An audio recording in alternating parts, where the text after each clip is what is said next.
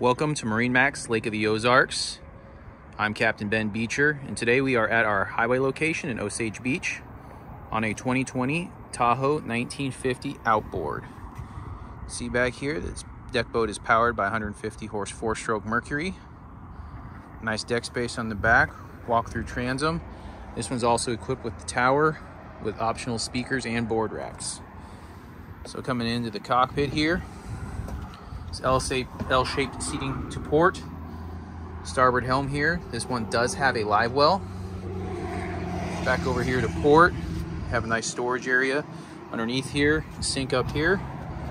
Storage in the floor under the seats. And then up in the front here, you do have a live well. Nice deck in the front, anchor storage, and a bow ladder. Once again, Captain Ben Beecher, MarineMax Lake of the Ozarks with our 2020 Tahoe 1950. Thanks. Have a great day.